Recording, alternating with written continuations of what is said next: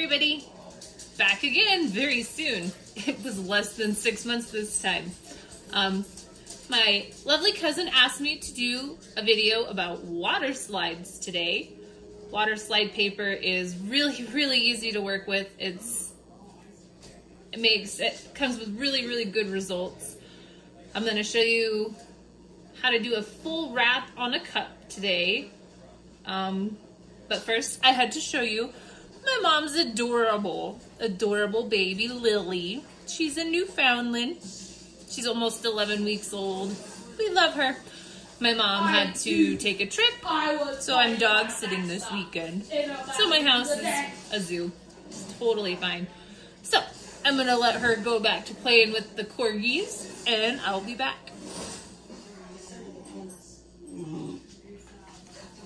Okay, so the things that you need for a water slide cup. Of course, again, the cup. Um, we're gonna do this style today. I get these ones at Michael's. I think you can get them online for a lot cheaper, but I just saw them at Michael's and thought they were cute. When they very first got the cups and they were only $5, so I picked up a couple. This one needs cleaning. Please don't look at it, it's dirty. I wash all my cups before I use them. Don't worry. So, then of course, your primer. Prime your cup, get it all ready. La la la. You need this for the water slide paper. Now, I actually prefer the matte clear, but I'm out of it. And I only have the big truck because sometimes I bring it home from work. And it's kind of hard to drive that, you know, run down to Walmart or the hardware store and get it. Um, so gloss is fine if that's what you have on hand. It works just as well. I just prefer the matte because you can see when it dries a little better, but personal preference. So then you need the water slide paper. I use the Hayes Paper Company, the water slide decal paper, transparent. Now this is the clear stuff. There is also a white that you can put on dark backgrounds. I just have the clear and you're gonna need to put it on a light background.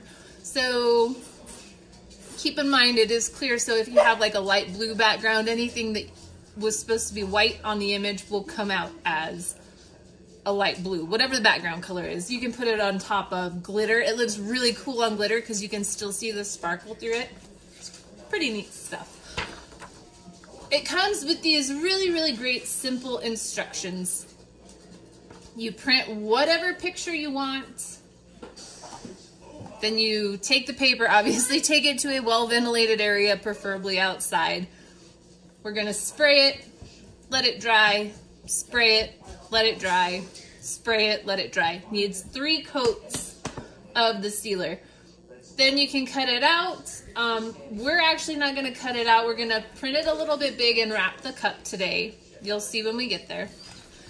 Then you put it in water for 30 to 60 seconds and the clear part actually slides off onto the cup and it makes it wrap so nicely and it just molds to the cup. It, they're really cool. So I did this one with, I did a really bad job of the joining up part. This was one of the first wraps I did with a water slide, and it's it's just for my own personal use. So um, I like to do pour paintings, and I wanted a pour painting on a cup. You can actually do dirty pours directly onto a cup. But whenever I tried them, I didn't get these cool cells in here, and that's what my favorite part of the oil, or oil, excuse me, the water the pour painting is, is the cells. I'm sorry, Lilly is being quite obnoxious. But you can also do other things. You can do camouflage backgrounds, um, pictures. Uh, I'll try and splice in a picture of a cup I did for my sister for Christmas with her horse on it. So today, I want to do another water slide, or a new, another pour painting this is one I had done quite a while ago.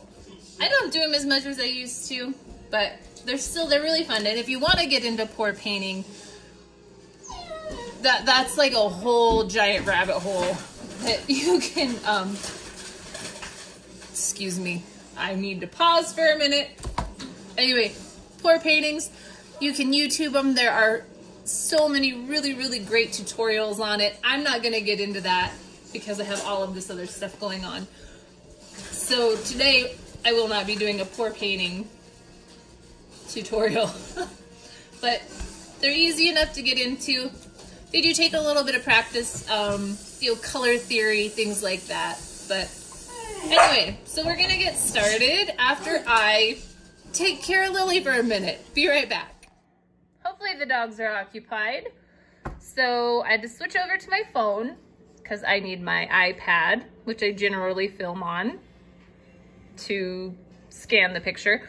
I'm using an Epson series printer. It is an inkjet printer, not a laser printer. Um, it's also got the scanner built into it. This is the Epson print app. So we're just gonna click on scan a picture. Okay, then we come over here.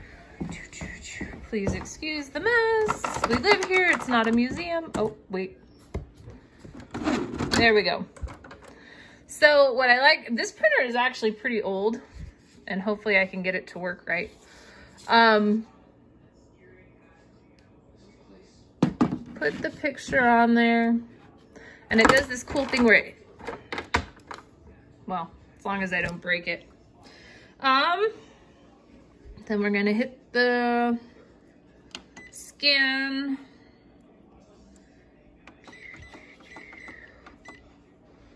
Um,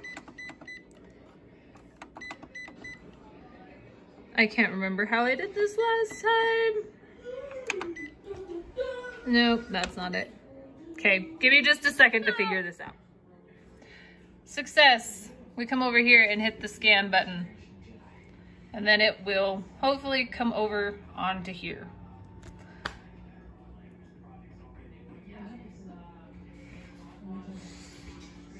Maybe.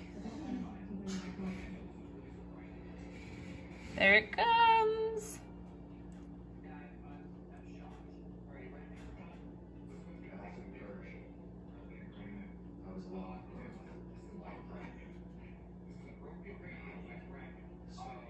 Slowly, slowly.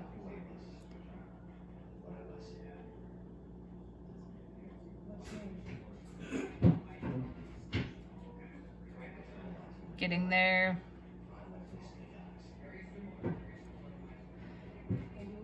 I'm still figuring out my editing software, so maybe I can fast forward through this part so it's not just me holding my phone somewhat shakily.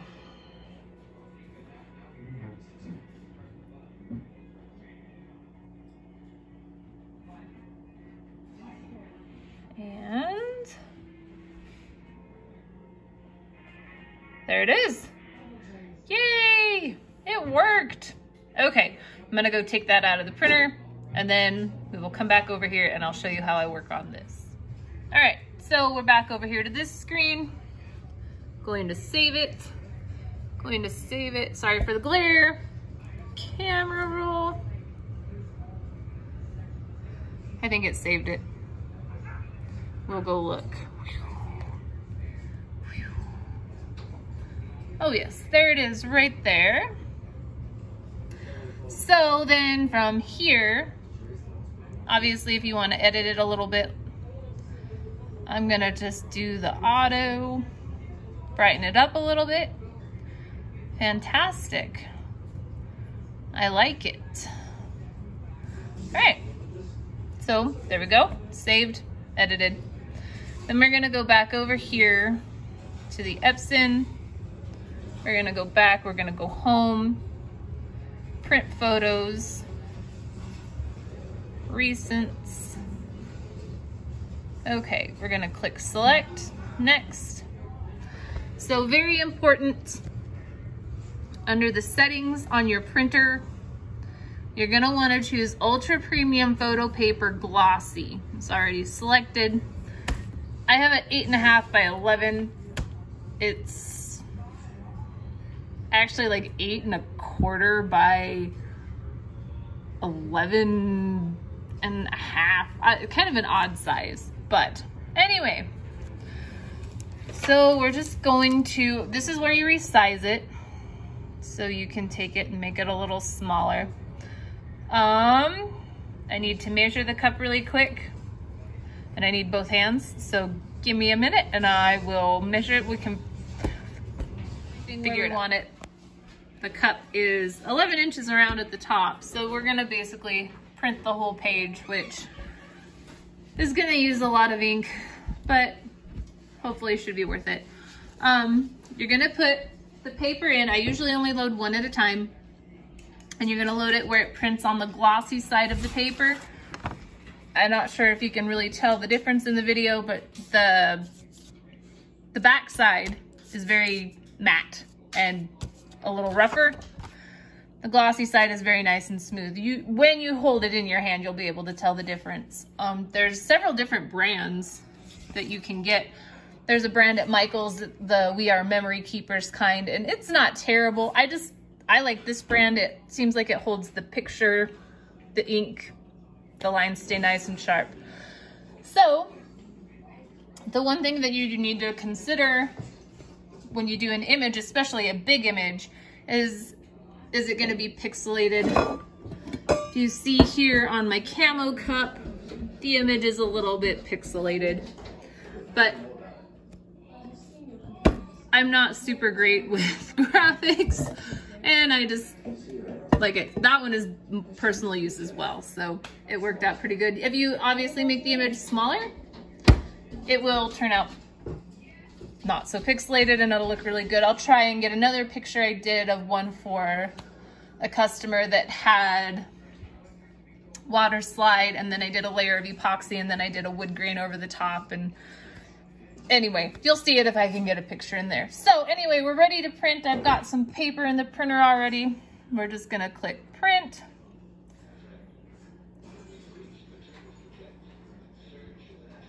And I'm not going to subject you to sitting here while it prints because it does take a while. Even as old as the printer is, it prints pretty high quality pictures. So I'm gonna let that print and I'm gonna do a couple other little things and then we'll be back when it's ready. Okay, here it is printed. Got a little bit of fuzz on it there. Um, so my printer, being is how my printer's seven years old, sometimes it doesn't do so great on the edges, but it's okay because we're probably actually gonna wind up cutting a little bit off. This stuff does have a little bit of stretch to it once you get it on the cup, so you'll be able to see that when we get it on there. Also, the colors aren't quite as vibrant as they are on the actual painting, but all in all, it does fairly well. And that could just be my printer. Um, like I said, it's seven years old. It sat in my mom's garage for about a year before I took it, but it was free, free to me. Works great. Um, so the next step is we're gonna seal it, seal it three times. I like to spray a coat on, hit it with the heat gun, dry it out pretty fast. And then just do that two more times. Um, you're supposed to let it sit for about three minutes after you print it. That's according to their directions. So I'll just let it sit, hang out, try and keep the dang kids and the dogs and the freaking cat away from it. And so this is, it's been about three minutes since it's printed. So I'm gonna go ahead, get the three coats on it, and then we'll pick up after that. So just be sure that it's dry before, before you try and seal it or put it on the cup. Because if you put it on the cup, it's gonna be a big sticky mess. So we'll be back in just a few. All right, so got the three coats on. It's nice and shiny. I don't know if you can see. It's dry to the touch. Ooh, well, mostly. There's a couple little spots in there that are still a little sticky. So then you cut around the image. Obviously, we don't need the whole thing. And that's the cool thing about this. You don't have to be perfect. Um, Morgan? Anyway, playing video games. So, the cool thing is you don't have to be perfect. I know you could do the print to cut option with your Cricut if you wanted to, but it's really, really not necessary. Uh, I, on the white though, I think you would want to be very close because it will leave a white edge on a dark background. But we're doing clear, so we don't really have to worry about it. Um, I've got my cup primed. You can see I've got a fingerprint in it and a little bit. Doesn't have to be perfect because it's just gonna get covered up with the water slide. You won't even be able to see that. So, pretty sure I want that at the top. Crap on there. And I'm just kind of seeing where I'm gonna wanna place it once I get it off the backing. Yeah, it's gonna be really cool. I'm excited to see it. So, then let me get a thing of water and then we'll continue. Right. Here we go. Got my handy dandy pan of water. If you're doing smaller images, just a little bowl, whatever. But you definitely want the whole thing to be covered in water. Otherwise, you're gonna have part of it stuck and you can tear it and so just place it in the water. It'll curl up. I've not had it curl up so bad that it like sticks to itself or anything like that. I just kind of, so I'm gonna get where you can see, just kind of hold it down in the water so that it all, those little edges don't poke out. Stay down. Okay. Now maybe we should put some rocks on it. Some concrete boots for it. For the mafia around here. It's like that meme, I'm gonna blow glitter in your eye. Trust me, there's enough glitter in my kitchen that would, the strip club would be jealous of it all. I think glitter cups are the bane of my existence. Although they turn out so pretty when they're done. They're just terrible. It's not so bad when you can mix the glitter into the epoxy, but like, it's just not quite the same, is it? As when you do the whole glue it on. Okay, so after a few seconds, it'll stay down. So smaller images don't take as long in the water as the big images. Um, I'm gonna definitely let this sit for at least a full minute. I've left them in there for longer, like I've had I was doing some piecework and I just left them sitting in the water and it didn't seem like it hurt it. I suppose if you left it in for, you know, 10, 15 minutes, it would not be good. But I, I don't even think, you know, four or five minutes would hurt it in any case. So you can kind of test and see if it's ready. You can kind of peel up the corner and see. I don't know if you can see that on the video, but it slides. Um, it's a lot like those temporary tattoos. I used to get them in a bubble gum that they sold around here. I'm sure probably all of us that are in our 30s know about it. Um, and then they were like really terrible to get off. I remember it was it was a Saturday before Easter and I'd gone to my little friend's house. We got a bunch of that bubble gum and stuck those tattoos all over our arms. My mom was horrified. And of course, now I'm covered in real tattoos and she's just as horrified. Don't worry. These ones don't come off with rubbing alcohol. All right. So let me see if I can move this a little closer so you can kind of see what I'm talking about. The corners are kind of curling up that means it's ready.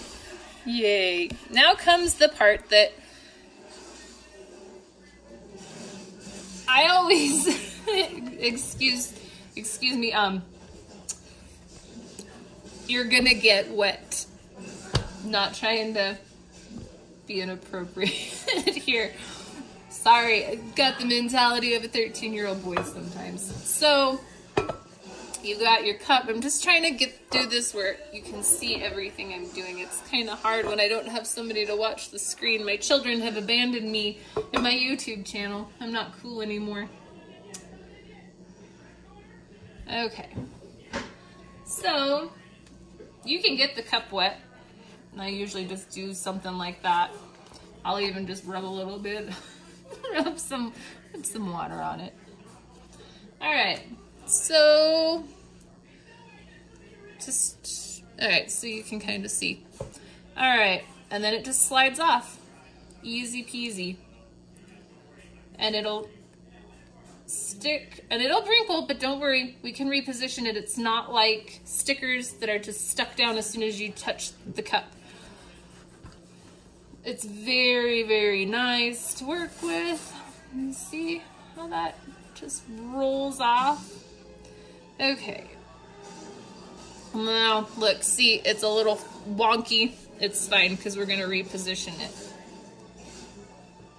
And you can do this several times as long as you keep it wet. Once it starts to dry, it will start to get tacky and it will tear if you're not careful. Okay. We're just gonna get it into an approximation of where we want it. We definitely wanna get this pulled so it stretches a little bit and touches. That's why I really like these uh, paint pours because even if you stretch them a little bit, bah, nobody's really gonna notice. All right, so we're gonna peel that back a little. Okay. Where am I? Here we go. Peel it, stretch it so that it, you can pull it down, pull it down.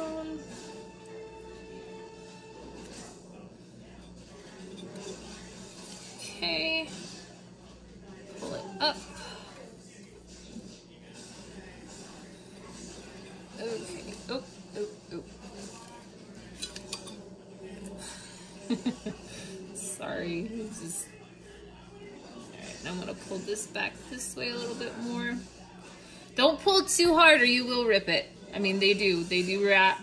They rip. They'll crack if you're not careful.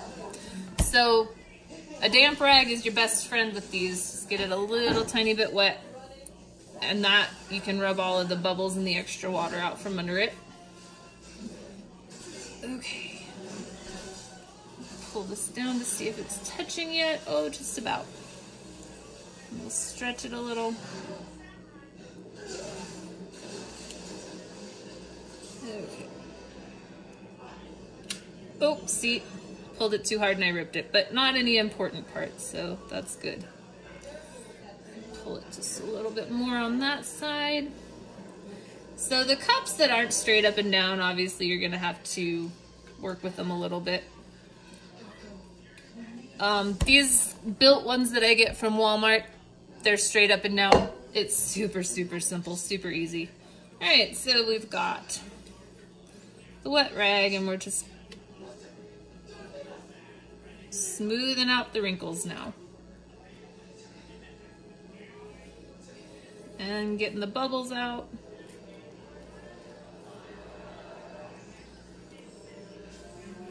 And like I said, as long as you keep this wet, you can keep working with it. Again, not trying to make this any kind of a dirty video. Please excuse my giggles. Get that bubble out. Oh, see, and you'll have to kind of keep coming back to here and pulling. Oh, well, there. See, now I've done it. Which it's fine, because there's extra. This is why I make them a little extra. And honestly,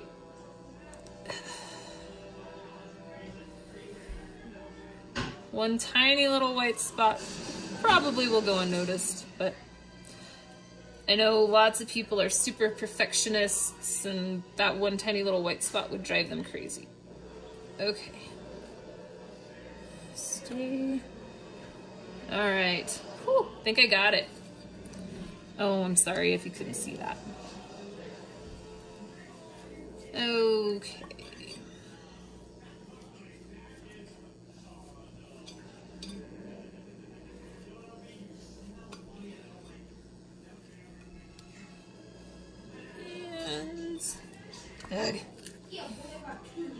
You're gonna have to kind of keep repositioning this until it starts to dry. Because it will, it does move a little bit on its own. Okay.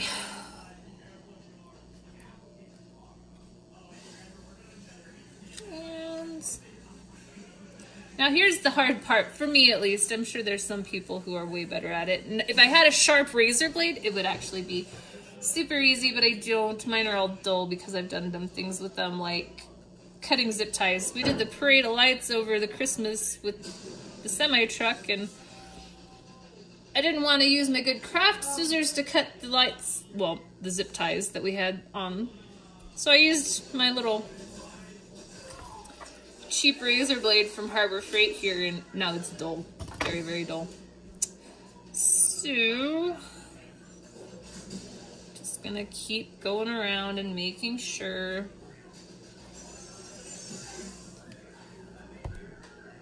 Are you sneaking? Pretty sure that everybody doesn't care if they hear your footsteps there, brother. Okay. So you're gonna have a little bit of an overlap. That's just the way it is. Unless, I'm sure that there's a some way I could get it where it would print exact dimensions. I'm not that technologically savvy. I'm not super good even at making videos because I kind of get out of focus and yeah, I know. Well, I asked you to help and you wouldn't, so don't critique my videos. Okay.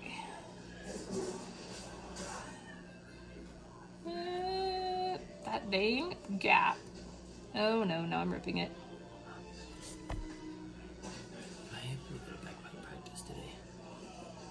I don't have any way to drive you.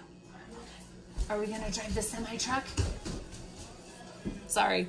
My son, my oldest son, plays the bagpipes, and Sunday is bagpipe practice, and unfortunately, my mother is out of town, hence why I have her fur children that she likes better than she likes her own children, but don't we all? and I, like I said earlier, I only have the semi-truck, so I can't really drive him to practice. These scissors are crap. So I will attempt with the big scissors. Just cut up the seam here, whatever you want to call it. And it is going to start getting a little sticky as it dries, so you just got to be careful that it doesn't stick back to itself and try and make a straight line as possible. I'm not doing a very good job. Really, really terrible at these tutorials. You guys should not take my advice. Seriously, just don't. Yours are gonna wind up looking all wonky like mine. But, so you just kind of pull it up. You can see kind of where you folded it over. Hope you can see this in the video because this is kind of a one-shot thing. I cannot do a retake. Okay, it's not perfect, but as close to perfect as I'm gonna be able to get it. There's a small wrinkle right there. Pull that back, pull that back, pull that up, pull that up. Yes, I can. Okay. Pull this wrinkle out. And there you go. One acrylic pour wrapped tumbler. Cool. So we've got this top to deal with, but I let it dry before I mess with it. It's easier to cut when it's dry versus when it's wet. It'll stretch when it's wet, you can see that. And when it's dry, it's kind of crispy and like really thin plastic, but not like saran wrap that's stretchy. So here in about mm, half hour so, I'll trim the top and then that'll be kind of the finish of it. You let it dry. Obviously, we let this one dry for a day or two before we put any epoxy on it because obviously you've been working in the water. There's water everywhere. Water all over the counter. Oh, I've got this bubble I gotta deal with. Wet cloth. So even after it kind of starts getting a little tacky, as long as you use something wet, you can use paper towels. You don't have to use a rag. I just like to prefer to use these because I'm always afraid that paper towels are going to leave lint stuck to it and then I'll be upset. Okay. There's a few little wrinkles here. And let me Ooh, and you got to be careful once it starts getting like this when you when you where you hold it and if you're pushing on it too hard you'll actually wrinkle it where you're holding it as well. So you just got to kind of be gentle with it.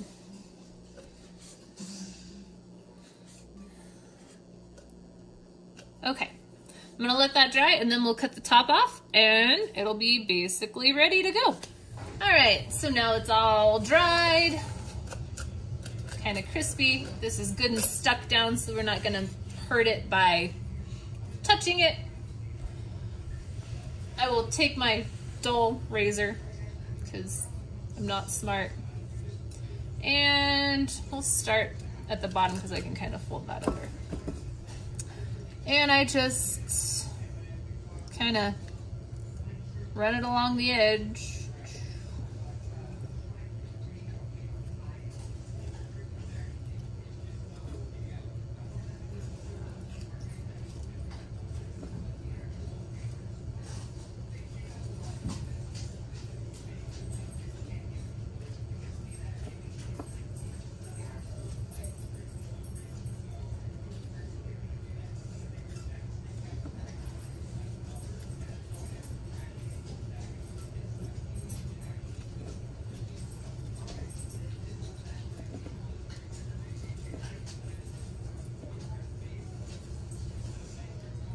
Still a little bit of water under there.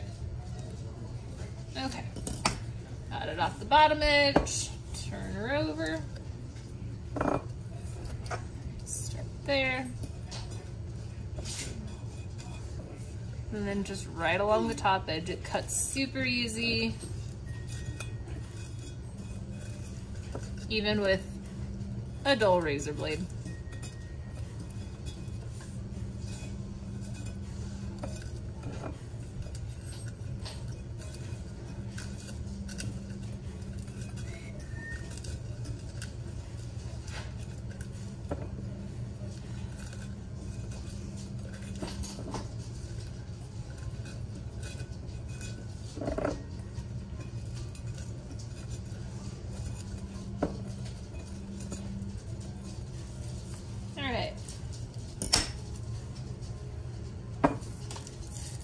There it is. And that is how you wrap a cup water slide.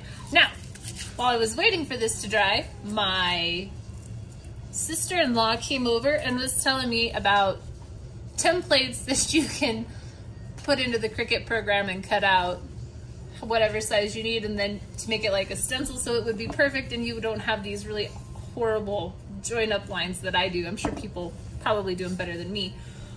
But this one again is probably just gonna be for my personal use. But I thought the template is really cool, so I just jumped on Pinterest and typed in tumbler template and there were tons of them for all different brands of cups.